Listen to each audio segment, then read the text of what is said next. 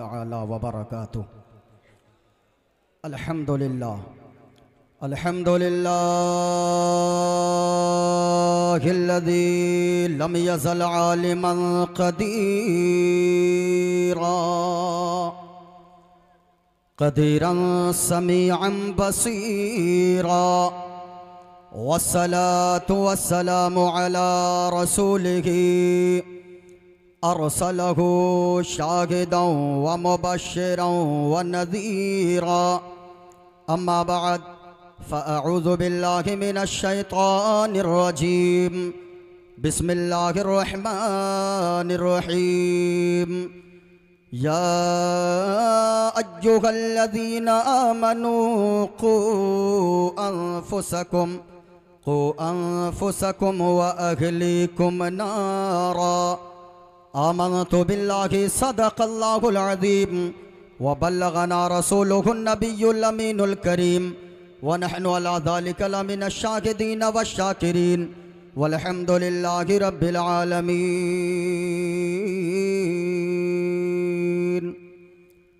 पेश हक़ मजदा शफात का सुनाते जाएँगे आप रोते जाएँगे, हमको हंसाते जाएँगे।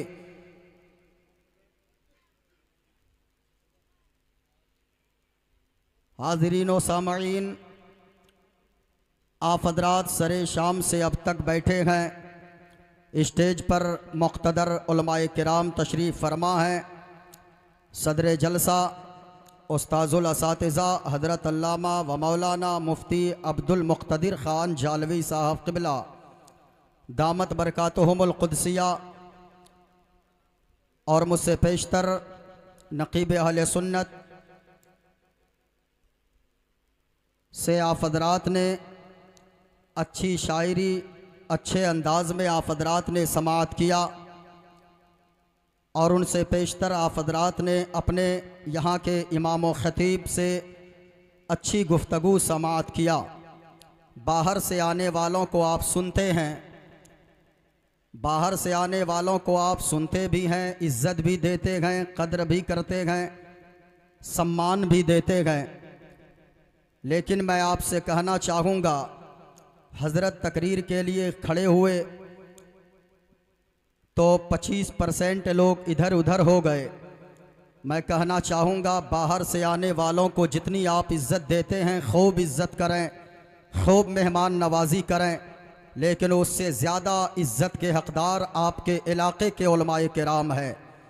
और ख़ास तौर से आपकी मस्जिद के इमाम साहब हैं, क्योंकि मैं दो तीन घंटे के बाद नज़र नहीं आऊँगा।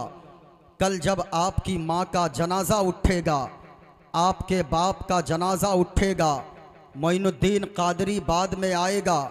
आएगा कि नहीं आएगा, कोई पता नहीं। लेकिन सबसे पहले आपकी माँ और आपके बाप के जनाजे को कांधा देने। अगर दौड़ के आगे आएँगे तो आपके मोहल्ले के उलमाए कराम आगे आएँगे।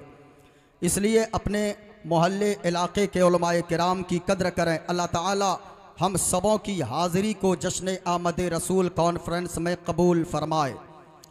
आप हजरात से मैं गुजारिश करूँगा, जितनी देर आप बयान सुने, इस रंग में सुने लगे कि मुस्तफ़ा का दीवाना कोई सुन रहा है। मैं पहली दफ़ा आपके जाले की सरजमीन पर हाजिर आया हूँ। आप ऐसी मोहब्बत से सुने और लगे कि दोबारा आने की तबीयत चाहे। स्टेज पर उलमाए किराम तशरीफ़ फरमा है, मैं सबों का नाम नहीं जानता। बस इतना कहना चाहूँगा, अल्लाह ताला हमारे इन उलमाए किराम को उम्र खिज़्र अता फरमाए। ज़रा एक मरतबा अगर सुनना चाहते गए पूरा मजमा एक मरतबा मोहब्बत के साथ बोलें सुबहान अल्लाह किसी का हाथ नीचे ना रहे, आपको करबला वालों का वास्ता। आपको मजलूम अली असगर के खून के कतरे कतरे का वास्ता। आपको सैयदा जैनब के दुपट्टे के पाकी का वास्ता पूरा मजमा एक मरतबा हाथों को लहरा कर बोले, या रसूल अल्लाह अगर इजाज़त हो तो मैं एक शेर पढ़ देता हूँ। इन फिर अपनी गुफ्तगु का आगाज़ करूँगा और मैं वो चतुर्वेदी हूँ। मैं जो भी बोलूँगा, हवाला के साथ बोलूँगा। इन अज़ीज़, आप सुनेंगे, आप कई बरसों तक मेरी गुफ्तगु को याद रखेंगे और मैं मौजू के मुताबिक गुफ्तगु करूँगा। आज मैं बताऊँगा पूरी दुनिया में इस्लाम को बदनाम करने की जो साजिश रची जा रही है। आज जो मीडिया पे इस्लाम बताया जा रहा है, जो मीडिया वाले इस्लाम लोगों के सामने पेश कर रहे हैं, क्या हकीकत में वही इस्लाम है या हमारा इस्लाम कुछ और है? हमारा इस्लाम धर्म कितना अच्छा है? हमारा मज़हब इस्लाम कितना खूबसूरत मज़हब है? इन मोइनुद्दीन कादरी यहाँ से पैगाम देगा। एक शेर मैं पढ़ता हूँ, अगर आपने इस्तकबाल कर दिया तो इन अज़ीज़, उसके बाद मैं मंत्र पढ़ूँगा और उसके खुलासे पे मुकम्मल मेरी तकरीर हो जाएगी। एक शेर पढ़ता हूँ आमद रसूल के हवाले से। सुनिएगा। सब नजारे सब नजारे सब नजारे सब नजारे। हो ज़ोर आप के गए सब नजारे सब नजारे लोगों याद रखना। ये सारे नज़ारे जो दिखाई दे रहे गए ये लाइटें जो नज़र आ रही है, ये शामियाना जो नज़र आ रहा है, ये ज़मीन का फर्श जो नज़र आ रहा है, ये आसमान का शामियाना जो नज़र आ रहा है। और उस आसमान के नीचे चांदो सूरज जो नज़र आ रहे गए सितारों की जगमगाहट जो नज़र आ रही है ये किसी और के सदके में नहीं गए। ये आमना के लाल जनाबे मोहम्मद रसूलुल्लाह के सदके में गए। इसलिए तो हम कहते गए, सब नजारे हुजूर आप के हैं। चाँद तारे तारे, चाँद तारे। हुजूर आप के गए।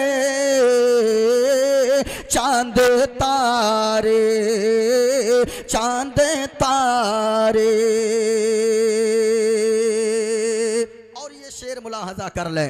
क्यों ना होता वो चाँद दो टुकड़े। क्यों ना होता वो चाँद दो टुकड़े?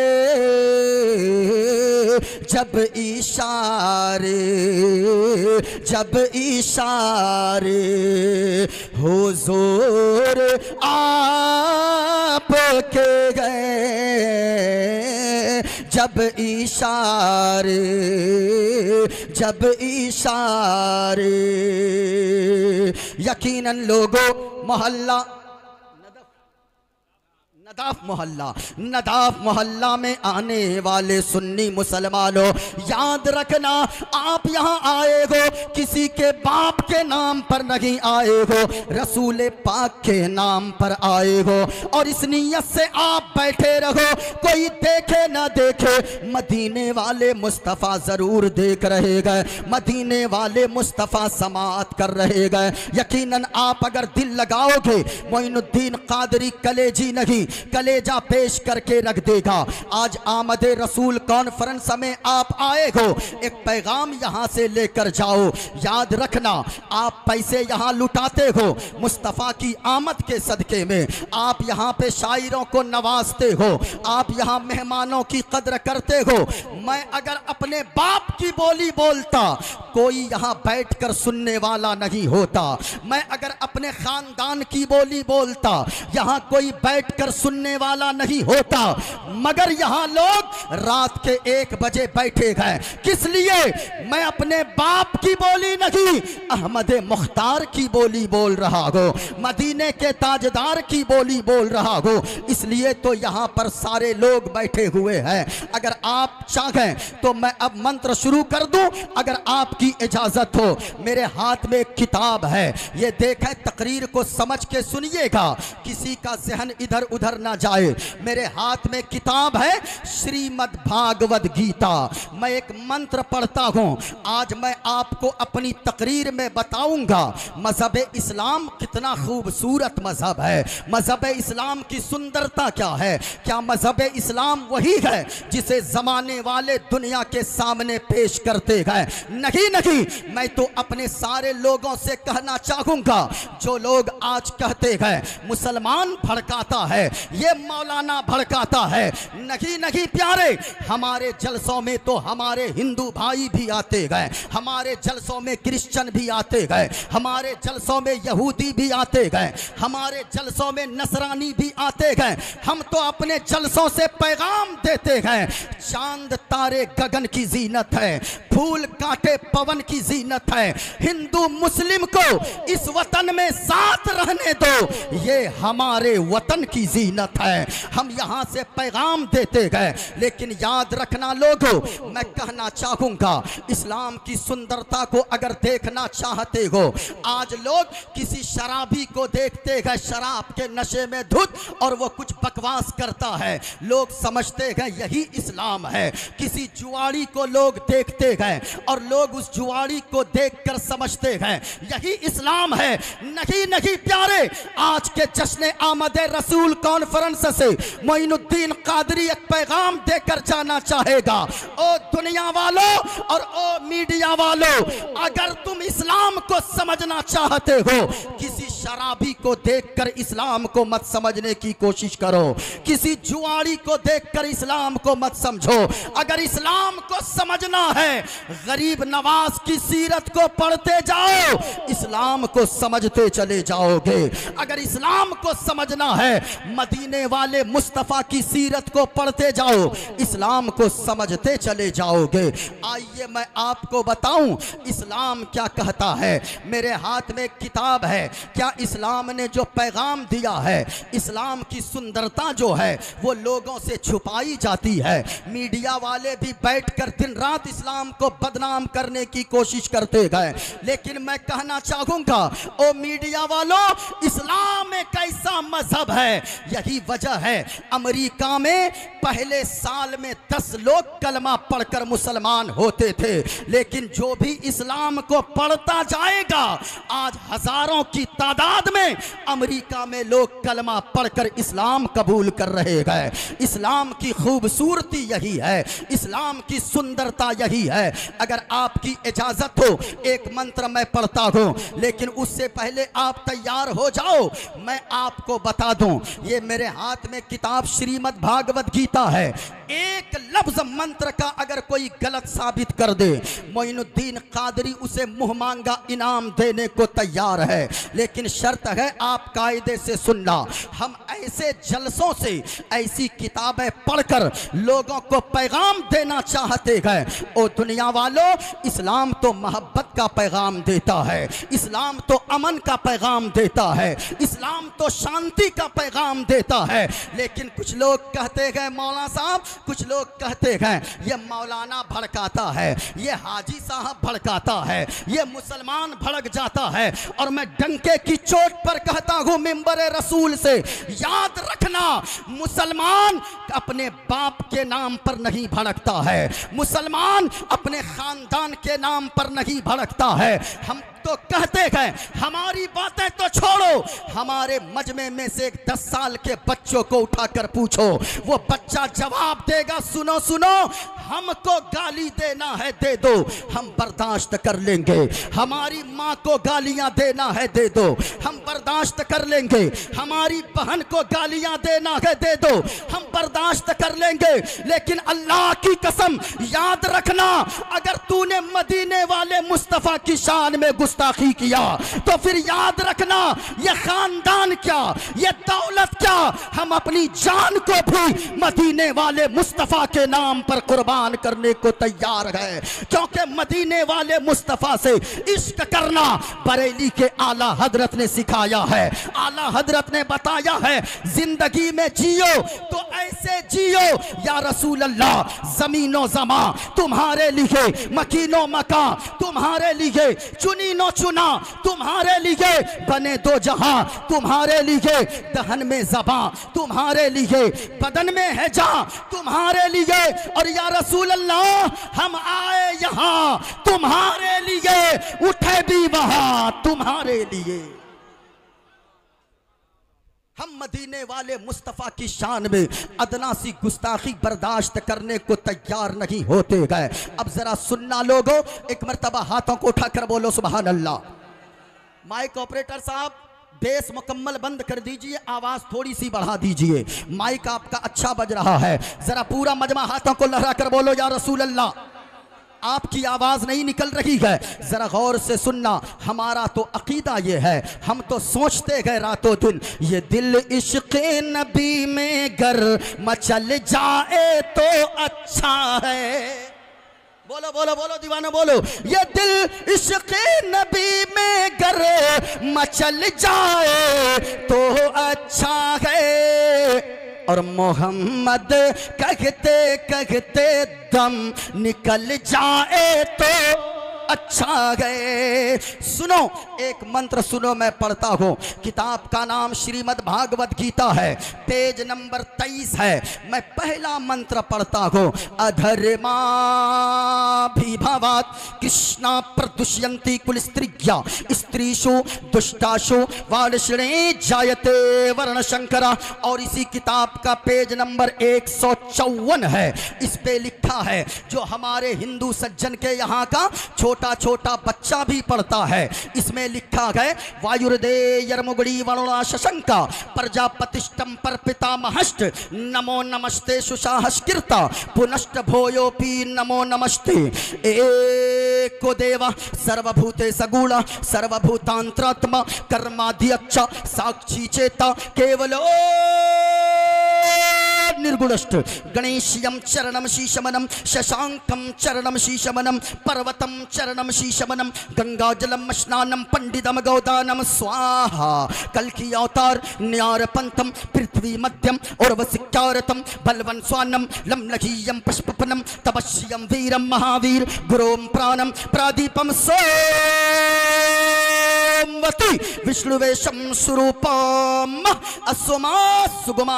देव दत्तम जगतपति असिना साधु अष्ट आश्चर्य गुणवती गिरी नील गंधा अति ज्योति मैं प्रकाशम नतमस्तक भूमिष्टम प्रभु गुणगानम नाफ बुरीदा लीड गच्छ दीन प्रक्रम पवित्रम गंगा स्नानम अति पवित्रम पवित्रम पवित्रम अब आओ लोगो जाले वालो निदाफ मोहल्ला वालो अपने तो अपने, दूसरे भी मदीने वाले मुस्तफ़ा का तस्करा नज़र कर आते गए तस्करा करते नज़र आते गए, प्रशंसा करते नज़र आते गए। अब जरा सुनना, हर जबान में मदीने वाले मुस्तफ़ा का ज़िक्र मौजूद है। सुनो, किसी ने कहा है, संस्कृत जमान में, संकट मोचन, संकट हारी, संकट मोचन, संकट हारी, अरबन मदनी अरबन मदनी।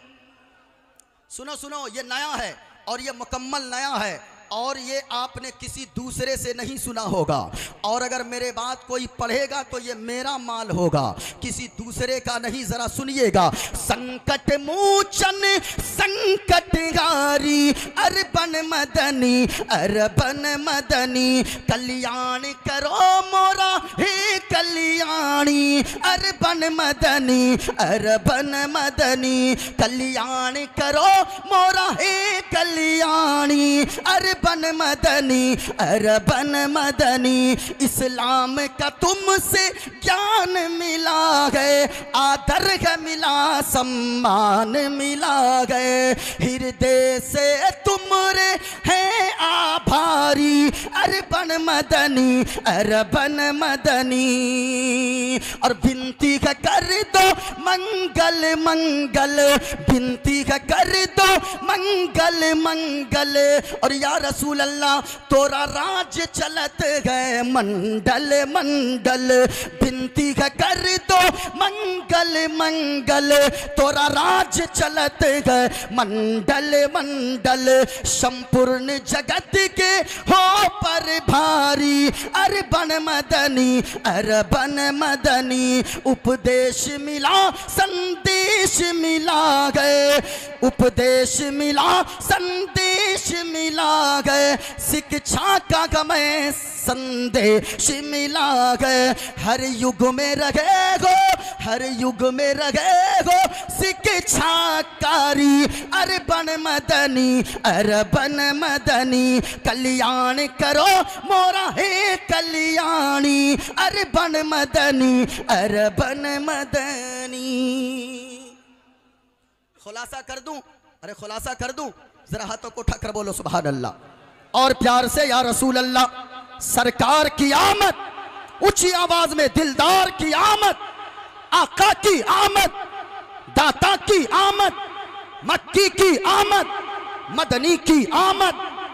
अब जरा सुनिएगा मैंने मौजू लिया है कि ए लोगों, अपने आप को और अपने घर वालों को जहन्नम की आग से बचाओ। इको थोड़ा सा कम कीजिए, ठीक चल रहा माइक, ज़्यादा कम नहीं करना है। इधर देखिए, आज लोग जो कहते हैं, इस्लाम मानवता का संदेश नहीं देता है, इस्लाम इंसानियत का पाठ नहीं पढ़ाता है। जरा गौर से सुनना लोगों, आपने टीवी के ज़रिए इस्लाम को समझने की कोशिश किया है, आपने मीडिया के ज़रिए इस्लाम को समझने की कोशिश किया है। ये मेरे हाथ में किताब है। आज जो लोग उंगली उठाते हैं और कहते हैं कि इस्लाम मानवता का दर्श नहीं देता है, याद रखना, इस्लाम को पढ़कर तो देखो, इस्लाम को पढ़कर और इस्लाम पे आप रिसर्च करके देखो। आज जितने लोगों ने भी इस्लाम को पढ़ने की कोशिश किया है, वो कलमा पढ़कर इस्लाम के दामन से वाबस्ता हो गया है। वो हो क्यों नहीं? इस्लाम है ही इतना खूबसूरत मज़हब। इस्लाम की सुंदरता क्या है? आपको मैं एक बात बताऊँ, लोग कहते हैं कि इस्लाम मानवता नहीं सिखाता, मानवता का पाठ नहीं पढ़ाता। हमारे भी हाथ में नाखून है, आपके भी हाथ पाँव में नाखून है। इधर देखिए, हाथ पाँव में नाखून है। नाखून कितने दिनों में काटना चाहिए? नारे तकबीर, नारे रिसालत। मसल के आला हज़रत। जनाब असद इकबाल साहब किबला नारे तकबीर नारे रिसालत। माशाल्लाह, आप देख रहे गए, हज़रत तशरीफ़ ला चुके गए। आप हमारी तरफ़ तवज्जो कीजिए। आपके इंटरनेशनल शायर तशरीफ़ ला चुके गए। जब ये पढ़ेंगे, ऐसा लगेगा, आप निदाफ मोहल्ला जाले की सरजमीन पर नहीं, बल्कि गुंबद खदरा की छाँव में बैठे हुए हैं। इसलिए सुनो, एक मरतबा हाथों को लहरा कर बोलो, या रसूल अल्लाह इस्लाम की सुंदरता क्या है? भाई, कफील अंबर अशरफी साहब की बिला वो भी तशरीफ़ ला चुके हैं बहुत अच्छे नकीब हैं। याद रखना लोगों, जाले वालों, आप अपनी किस्मत पे जितना नाज करो, कम है। क्योंकि आपकी ज़मीन से, आपकी ज़मीन के कोक से उठने वाला, एक ऐसा नकीब, एक ऐसी आवाज़ यहाँ से उठने वाली उठने वाली है, जो पूरे हिंदुस्तान की आज ज़रूरत बन गई है। आप याद रखना, अपने किस्मत पे नाज कीजिए। जरा गौर से सुनिए, इस्लाम की सुंदरता क्या है? इस्लाम कितना खूबसूरत मज़हब है। हमारे भी हाथ में नाखून है, आपके भी हाथ में नाखून है। उलमा से पूछिए, नाखून काटने का तरीका क्या है? कितने दिनों के अंदर अंदर नाखून काट लेना चाहिए? अल्लामा मुफ्ती अब्दुल मुख्तदिर खान साहब तशरीफ़ फरमा है, ये बताएँगे, इस्लाम का कानून ये है कि 40 दिन के अंदर अंदर अंदर आदमी नाखून को काट ले। 40 दिन से ज़्यादा रखना 40 दिन से ज़्यादा नाखून बढ़ाना, ये मकरूह तहरीमी लिखा है उलमा ने। ये तो आम लोगों के लिए है, लेकिन एक किताब का नाम है फतवा आलमगीरी। फतवा आलमगीरी में एक मसला लिखा है, ये उलमा हमारी तायद करेंगे। फतवा आलमगीरी में यह मसला लिखा है कि ऐसे तो आम तौर पर लोगों को 40 दिन के के अंदर अंदर नाखून काट ही लेनी चाहिए। चालीस दिन तक की मोहलत है। लेकिन अगर कोई गाय का दूध निकालता हो, कोई भैंस का दूध निकालता हो, कोई जानवर का दूध दोहता हो तो उसके लिए मसला ये है, बेहतर ये है कि वो आठ से दस दिन के अंदर अंदर नाखून को काट लिया करे। मैं सर पकड़ के बैठा, आखिर इसकी रीजन क्या है? इसकी वजह क्या है?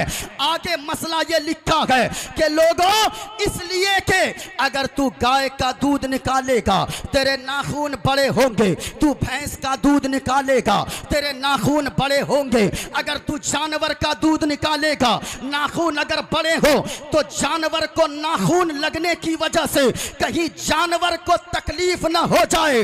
मैं आपसे पूछना चाहता हूँ, जो मज़हब इस्लाम जानवरों के बारे बारे में इतना ख्याल रखने का हुक्म देता है, वह इंसानियत का कैसा पाठ पढ़ाता होगा? वह इंसानियत की कितनी कदर बताता होगा? लेकिन आज लोग कहते हैं कि इस्लाम मानवता का पाठ नहीं पढ़ाता। सुनो, इस्लाम की सुंदरता को देखो। इस्लाम किसी शराबी को देखकर मत समझो। इस्लाम को किसी जुआड़ी को देखकर समझने की कोशिश मत करो। इस्लाम को समझने के लिए मुस्तफ़ा जाने रहमत की सीरत आयत को पढ़ते जाओ, इस्लाम समझते चले जाओगे। इस्लाम की खूबसूरती क्या है? मदीने वाले मुस्तफ़ा फरमाते हैं, आज जो लोग कहते हैं, पड़ोसी का पड़ोसी का पड़ोसी का, हम साथ साथ हैं, सबका साथ सबका विकास। याद रखिएगा, मदीने वाले मुस्तफ़ा ने फरमाया है, अगर कोई अगर कोई पड़ोसी तेरा, अगरचे वो यहूदी हो, अगरचे वो ईसाई हो, अगरचे वो गैर मुस्लिम हो अगर अगरचे वो किसी धर्म का मानने वाला हो, अगर कोई तेरा पड़ोसी भूखा सो गया, तू खाना खाकर पेट भर के सो गया, कयामत के दिन अल्लाह पूछेगा कि तुम भूखा नहीं, तू खाना खाकर सो गया। तेरा पड़ोसी क्यों भूखा सोया रहा? अल्लाह के यहाँ जवाब देना होगा। हुजूर फरमाते हैं, देखो इस्लाम की सुंदरता क्या है। मदीने वाले मुस्तफ़ा फरमाते हैं, अगर किसी की मिट्टी की दीवार है बगल में, आप चलते चलते मिट्टी की दीवार को अपने नाखून से खुरच दिया। उस नाखून में जो मिट्टी आएगी, उस मिट्टी के बारे में भी अल्लाह पूछेगा कि तूने बगैर किसी मामलात के तूने उसकी दीवार को क्यों खुरचा था?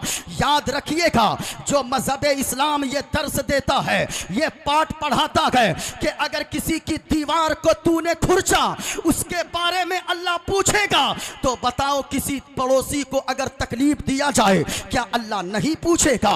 अल्लाह हिसाब लेगा। अल्लाह के यहाँ जवाब देना होगा। हुजूर फरमाते हैं कि लोगों, तुम में से उस वक्त तक कोई पक्का मोमिन नहीं हो सकता। जब तक के तेरा पड़ोसी तेरी तकलीफ़ से महफूज ना हो जाए। ये हुजूर ने फरमाया है, अल्लाह अकबर, मैं आपसे कहना चाहूँगा, जो लोग इस्लाम की खूबसूरती देखना चाहते हैं, इस्लाम ने तो घरेलू मामलात में भी दर्श दिया है। इधर देखो प्यारे, इस्लाम क्या सबक देता है? मैंने आयत करीमा की तिलावत की है, अल्लाह फरमाता है ए ईमान वालों, अपने आप को बचाओ और अपने घर वालों को बचाओ, अपने बाल बच्चों को बचाओ। जहन्नम की आग से, जहन्नम की आग कितनी भयानक है, मदीने वाले मुस्तफ़ा फरमाते हैं कि जहन्नम की आग को सत्तर मरतबा एक दो मरतबा नहीं, सत्तर मरतबा रहमत के पानी से धोया गया है। तब जाकर दुनिया की आग तैयार की गई है। अल्लाह अकबर, जब दुनिया की आग का ये आलम है कि आदमी किचन में ना रह पाए, जून जुलाई के महीने में माँ बहनें रहती है। आप उनसे पूछिए, कितनी गर्मी लगती है? अल्लाह अकबर, ये दुनिया की आग है। तो फिर जिस आग को सत्तर मरतबा धोने के बाद दुनिया की आग बनाई गई है। वो जहन्नम की आग कितनी भयानक होगी। अल्लाह ने फरमाया, अपने आप को भी बचाओ, अपने घर वालों को भी बचाओ। जहन्नम की आग से लोगों, अपने बाल बच्चों को बचाओ। आज हमारा मुआशरा जा कहाँ रहा है? अल्लाह की बहुत बड़ी नेमत है औलाद। अल्लाह की कितनी बड़ी नेमत है औलाद? औलाद की कदर किया करो। उनसे जाकर पूछो, जिनको अल्लाह ने औलाद नहीं दिया है। मैंने एक सेठ साहब को देखा है गुजरात में, जिनकी चार चार फैक्ट्रियाँ हैं रड बनाने वाली, सरिया तैयार करने वाली, चार चार फैक्ट्रियाँ हैं। लेकिन उससे मैंने पूछा, आपके पास मकान भी है, चार चार बड़ी बड़ी फैक्ट्रियाँ मौजूद है, आपके पास गाड़ी लग्जरी कारें मौजूद है, आपके पास लाखों रुपए आपके जेब में है, लेकिन आप मायूस क्यों रहते हो? वो कहने लगा, मुफ्ती साहब, क्या करूँगा इन पैसों का?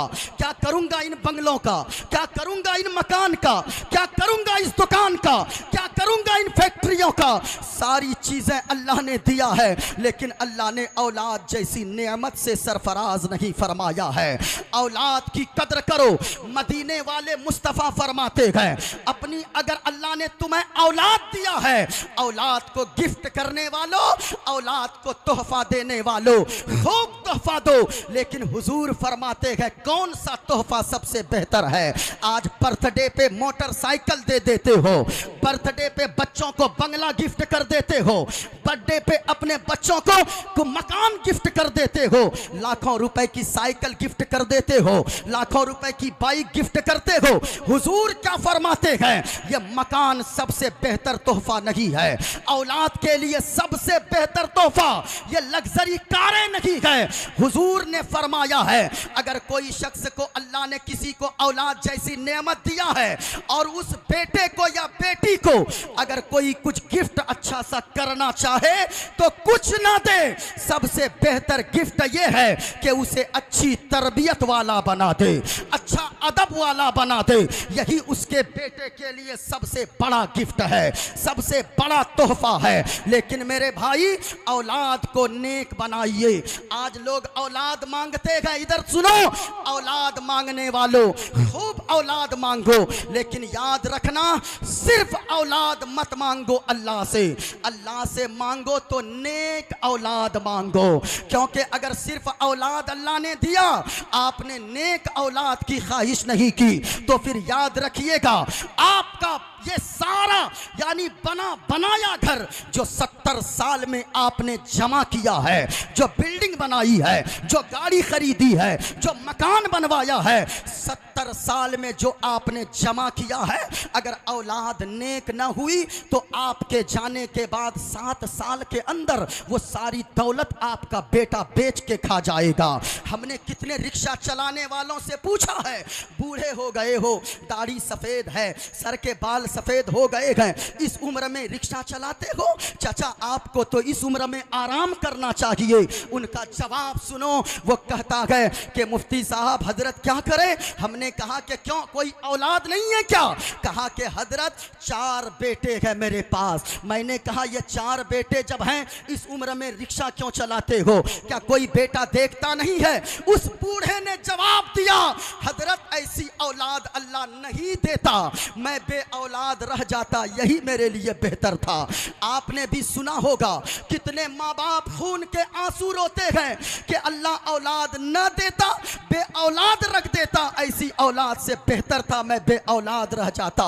मैं इस जगह ठहर के कहना चाहूँगा, औलाद नेक मांगिए, लेकिन नेक औलाद के लिए माँ बाप का नेक होना ज़रूरी है। ऐसा थोड़ी है भाई साहब कि बाप शराब पीकर घुलटा रहे, माँ माँ अयाशी करती रहे, माँ पाप करते रहे और बेटा मस्जिद का नमाजी हो जाए। ऐसा नहीं होता है, बल्कि जब बाप नेक होता है, माँ नेक होती है तो बेटा अगर होता है तो बेटा गद्दार नहीं होता, बेटा मुस्तफ़ा का वफादार होता है। माँ अगर नेक होती है तो बेटी अयाश नहीं होती बल्कि बेटी बड़ी होकर कनीजे फातिमा बना करती है। माँ का भी नेक होना ज़रूरी है। औलाद के नेक होने के लिए बाप का भी नेक होना ज़रूरी है। सुनो माँ बाप अगर नेक हो, औलाद कैसी होती है? आपने गरीब नवाज़ का नाम सुना है।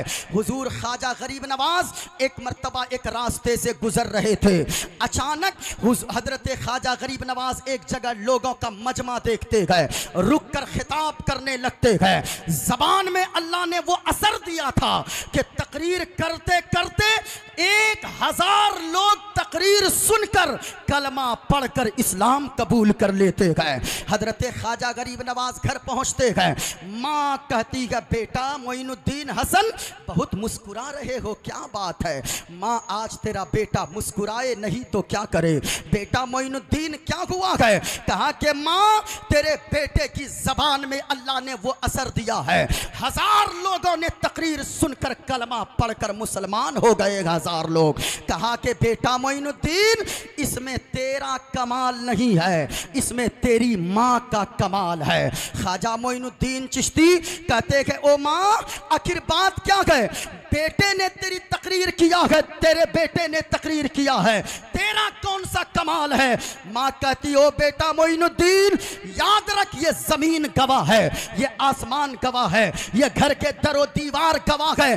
जब तू छोटा सा था, तुझे दूध पीने की ख्वाहिश होती थी, मैं अल्लाह की कसम खाकर कहती हूँ, जब तक मैं वसू नहीं कर लेती थी तब तक मैं तुझे दूध नहीं पिलाया करती थी। कहा कि बेटा, ये बावजूद दूध पिलाने का नतीजा है कि अल्लाह ने तेरी जबान में वो असर दिया है, जहाँ खिताब करता है हज़ारों लोग, कलमा पढ़कर मुसलमान हो जाते हैं। ये माँ बाप का नेक होना ज़रूरी। आपने इमाम बुखारी का नाम सुना है। क्या इमाम बुखारी ऐसे ही इमाम बुखारी बन गए?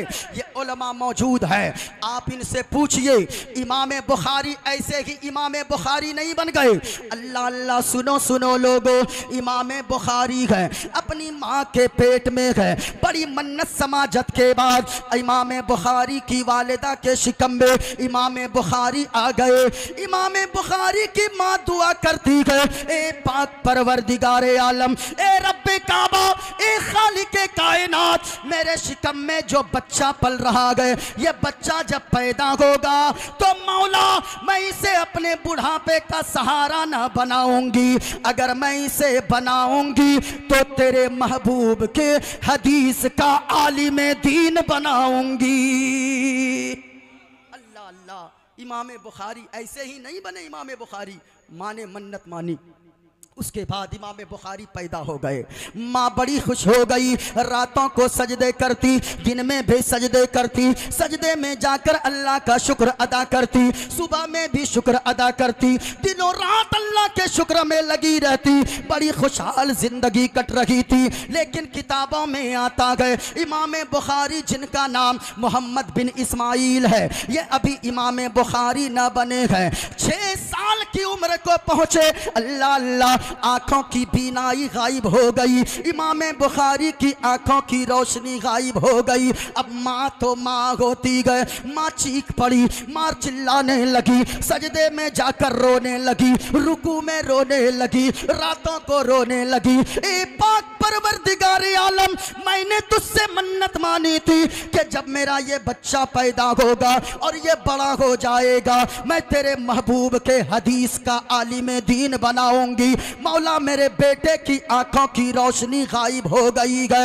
ए पाक परवरदिगार आलम, अब ये मेरा बच्चा क्या आलिम बनेगा? जब आँखों में रोशनी ही नहीं गए माँ माँ होती गए मैं कहना चाहूँगा लोगों, जिनके माँ बाप दुनिया में ज़िंदा गए, अपने आप को खुश नसीब समझो। अगर तेरा बूढ़ा बाप बिस्तर पे पड़ा गए, अगर तेरी बूढ़ी माँ बिस्तर पे पड़ी गए, अगर वो बात बात में टोक रहे गए, आपको अगर आगाह कर रहे गए तंबीह कर रहे गए, अपने आप को खुश नसीब समझो। और मैं ये गारंटी से कहता हूँ, जो काम दस साल मेहनत के बाद नहीं बन रहा गए अपने बूढ़े माँ बाप से जाकर दुआ करवा लेना। माँ बाप की दुआओं के सदके में अल्लाह, जो काम दस साल मेहनत के बाद न बनता हो माँ बाप की एक छोटी सी दुआ के सदके में अल्लाह काम की तकबील फरमा देगा। माँ बाप से दुआएँ करवाया करो।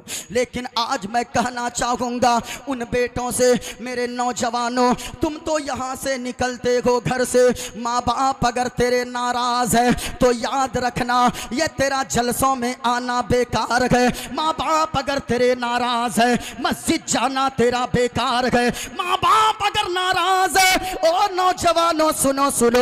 अगर तेरी माँ कहती है, रात के दस बजे तू घर से निकलता गए तेरी माँ कहती है, ओ मेरा बेटा, तू रात के दस बजे कहाँ जा रहा गए तेरी माँ अगर टोकती गए तू कहती है, ओ, माँ, बस अभी गया, दस मिनट में आता गो अब रात के ग्यारह बज जाते गए तेरी माँ बिस्तर पे करवटें बदलती रहती गए रात के बारह बज जाते गए तेरी माँ बिस्तर पे करवटें बदलती रहती गए रात के एक बज जाते गए। तेरी माँ बिस्तर पे करवटें बदलती रहती गए। माँ की ममता तिलमिला उठती गए। उठकर तेरे बाप के बिस्तर के करीब जाती गए। वो तेरा बूढ़ा बाप जो चल नहीं पाता गए। तेरी माँ कहती गए, ओ फला के अब्बा, अरे देखे तो सही, अपना बेटा कहाँ चला गया गए? अपना बेटा गया था। ये कह करके दस मिनट में आता गो। लेकिन रात के ग्यारह बज गए। अपना बेटा नहीं आया। रात के बारह बज गए, अपना लाल नहीं आया।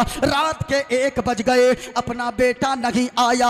अब वो तेरी बूढ़ी माँ पीछे पीछे टॉर्च जलाती चलती गए। तेरा बूढ़ा बाप हाथों में डंडे लेकर धीरे धीरे चलता गए। आगे आगे, तू रास्ते में चौराहे पर खड़े होकर गप्पे मारता रहता गए। तेरी माँ पहुँचती गए और कहती गए, ओ मेरा बेटा, तू तो ये कह के आया था कि अभी गया, अभी आया। क्या तेरे दस मिनट अभी नहीं हुए गए? देख टाइम कितना हो गया। रात के एक बज गए गए। तो तू झुंझुला कर बात करता गए नौजवानों और कहता गए, ओ माँ, मेरे भी दोस्त तैयार गए, मेरे भी साथी गए, मेरे भी फ्रेंड है। लेकिन याद रखना, आज तू अपने माँ बाप से झुंझुला के बात कर लेता गए। अल्लाह की कसम, अल्लाह की कसम, जब तेरी माँ दुनिया से रुखसत हो जाएगी, जब तेरा बाप दुनिया से चला जाएगा रात के दो बजे तू बारिश के कतरों में भीग कर आएगा।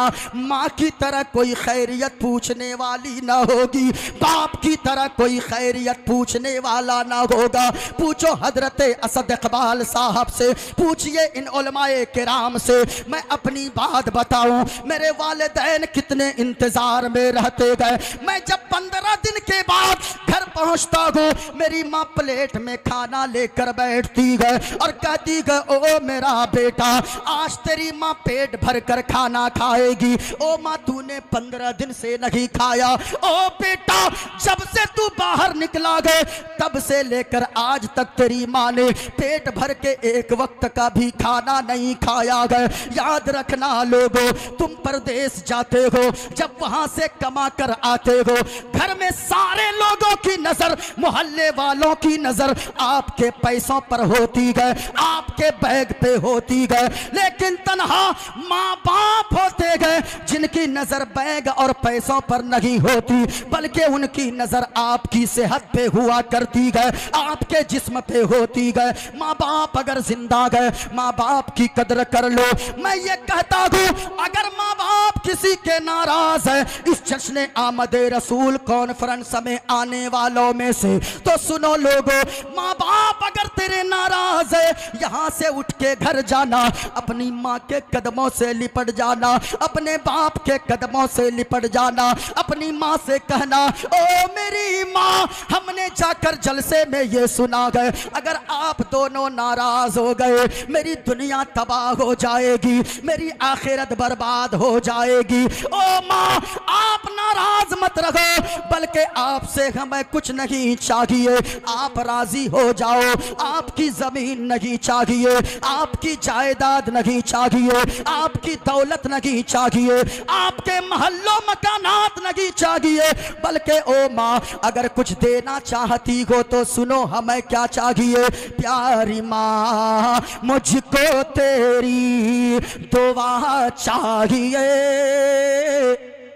के बेटो, कोई खामोश न रहना। जरा झूम कर बोलना, दुआ चाहिए। प्यारी माँ, मुझको तेरी दुआ। माँ से जितनी मोहब्बत है, उतनी बुलंद आवाज़ से। प्यारी माँ, मुझको तेरी दुआ। चाहिए और तेरे आ चल की ठंडी हवा चाहिए। तेरे आ चल की ठंडी हवा चाहिए। और एक शेर सुनो। तेरी खिदमत से दुनिया में इज़्ज़त मेरी। और ओ माँ, तेरे कदमों के नीचे है जन्नत मेरी। तेरे कदमों के नीचे है जन्नत मेरी। उम्र भरे सर पे साया, उम्र भरे सर पे साया, तेरा चाहिए प्यारी माँ, मुझको तेरी दुआ चाहिए। प्यारी माँ, मुझको तेरी दुआ चाहिए। माँ बाप अगर ज़िंदा गए माँ बाप अगर हयात से गए तो माँ बाप की खिदमत करो। सुनो सुनो, एक शेर और सुन लो, माँ की बात आई है, अपने बचपने को याद करो। लोरी गा गा के मुझे को सोलाती तो और मुस्कुरा कर सवेरे जगाती है तो मुस्कुरा कर जगाती है तो हमको इसे के सिवा और क्या चाहिए? प्यारी माँ, मुझको तेरी दुआ। जरा झूम कर बोलो सुबहान अल्लाह दोनों हाथों को लहराकर फिजाओं में बोलो, या हबीब अल्लाह ऊँचा बोलो, सरकार की आमद, दिलदार की आमद। आका की आमद, मक्की की आमद, मदनी की आमद। सुनो माँ बाप का नेक होना ज़रूरी है। इमाम बुखारी है। ये मैंने मंत्र भी पहला पढ़ा है। मंत्र ये पढ़ा है, अधर माँ भी भवात। अधर्म के माना बुराई, भी मना ज़्यादा, भवात मना बहुत। अधर माँ भी भवात। कहा गया, पाप के ज़्यादा बढ़ जाने से, बुराई के ज़्यादा बढ़ जाने से औरतों के अंदर प्रदुष्यंती कुल स्त्रिया, औरतों के अंदर पाप बढ़ जाने से स्त्रीशु, दुष्टाशु वाणषणे जायते वर्ण शंकरा कहा कि एक औरत अगर पापी हो जाए, एक औरत गुनहगार हो जाए, एक औरत के अंदर अगर बुराई दाखिल हो जाए तो कई नस्लें तबाह हो जाती है, कई नस्लें बर्बाद हो जाती है। माँ का भी नेक होना ज़रूरी है, बाप का भी नेक होना ज़रूरी है। सुनो, इमाम बुखारी छह साल की उम्र को पहुँचे गए। आँखों की रोशनी गायब हो गई। अल्लाह अल्लाह, जब छह साल की उम्र में आँखों की रोशनी गायब हो गई, माँ तड़प उठी, सजदे में जाकर रोने लगी, रुकू में जाकर रोने लगी। हमेशा दिनों रात को रोती रही रोती रही, दुआ करती रही, ए मौला, मैंने असाए पीरी के लिए थोड़ी बेटा मांगा था। मैंने इसलिए थोड़ी बेटा मांगा था कि ये मेरे बुढ़ापे का सहारा बनेगा। मैं तो इसलिए बेटा मांगी थी कि ये बेटा जब मेरा बड़ा होगा, तेरे महबूब के दीन का आलिम बनेगा। अब आँखों की रोशनी गायब हो गई। मौला, अब ये क्या आलिम बनेगा? क्या आलिम बनेगा? माँ रोती रही रोती रही, कई दिनों तक रोती रही। आखिरकार एक रात रोते रोते सजदे में सर रख कर सो गई, आँख बंद हो गई। रात को जब सोई गए ख्वाब में जद्दुल अंबिया हज़रत इब्राहिम तो तस्लीम तशरीफ़ ले आए। और आकर खुशखबरी दिया, कहा कि वो खातून, रोती क्यों है? मत रो। तेरे आंसुओं के कतरे को अल्लाह ने कबूल फरमा लिया है। तेरे बेटे की आँखों में अल्लाह ने दोबारा बीनाई अता फरमा दिया है। अब माँ बाप की दुआ देखो, माँ की दुआ देखो। इमाम बुखारी इमाम बुखारी की वालिदा जब ख्वाब से नींद से बेदार होती है। इतना मुबारक ख्वाब देखी थी। दौड़कर बेटे के कमरे के करीब जाती है। देखती है, उनका बेटा पहले ही से उनका इंतज़ार कर रहा है। इमाम बुखारी की वालिदा जाकर खड़ी हो गई। बेटे से कहती, ओ बेटा, ये बता तू देख सकता है? हाँ माँ मैं तुझे भी देख रहा हूँ। और आपने जो चादर हरे रंग की ओढ़ी गए उस चादर को भी मैं देख रहा हूँ। इमाम बुखारी की वालिदा ने दुआ किया। सुनो माँ बाप की दुआ का असर। इमाम बुखारी खुद फरमाते गए, इमाम बुखारी को चार लाख हदीसें जबानी याद थी सुबह अल्लाह एक दो नहीं, बल्कि चार लाख हदीस है। और माँ की दुआ की बरकत ये थी, इमाम बुखारी खुद फरमाते गए, चांदनी रात में बगैर चिराग जलाए, माँ की दुआ के बाद जो रोशनी अल्लाह ने अता फरमाया, वो इतनी ज़्यादा बढ़ गई थी। चांदनी रात में बगैर चिराग जलाए, मैं हदीस को पढ़ भी लेता हूँ और हदीस को लिख भी लेता हूँ। ये माँ की दुआ का असर है। माँ बाप की दुआएँ लिया करें उस्ताज की दुआएँ लिया करें, टीचर्स की दुआएँ लिया करें। वरना तो भाई साहब आजकल हालत ये हो गई है कि जहाँ अली बा ताता ये पढ़ते हैं बच्चे, अब जब वो मौलाना बन गया, मुफ्ती बन गया, अब वो मास्टर बन गया, डॉक्टर बन गया, अब वो अपने जो, यानी जिनके पास अपने पहले की बचपने में पढ़ाई किया है अब वो शुरुआती तालीम वाले को कुछ समझता ही नहीं है। याद रखिएगा, उस्ताज की दुआ में बहुत ज़्यादा असर है। उस्ताज उस्ताज होता है। एक मर्द अगर सुधरेगा, तब एक पूरा मुआशरा सुधरेगा। एक औरत सुधरेगी, पूरा माशरा सुधरेगा। बेटे के नेक होने के लिए बेटी के नेक होने के लिए माँ बाप का नेक होना ज़रूरी है। माँ बाप अगर नेक होंगे तो फिर बच्चा भी पैदा होगा, बड़ा होकर ग़ुलाम अहमद मुख्तार बन जाएगा। आप नेक बनिए, हम नेक बने, माँ बहनें नेक बने माँ बाप नेक होंगे तो यकीनन नस्लें नेक हो जाएँगी। अल्लाह ताला हम सब की हाज़िरी को कबूल फरमाए। अल्लाह ताला हम सबको बोलने से ज़्यादा उस पर अमल करने की तौफीक अता फरमाए। संकट मोचन संकट हारी, अरबन मदनी अरबन मदनी, कल्याण करो मोरा है कल्याणी, अरबन मदनी अरबन मदनी। और विनती कर दो मंगल मंगल। तोरा राज चलत गए, मंडल मंडल। संपूर्ण जगत के हो पर भारी अरबन मदनी अरबन मदनी। उपदेश मिला, संदेश मिला गए।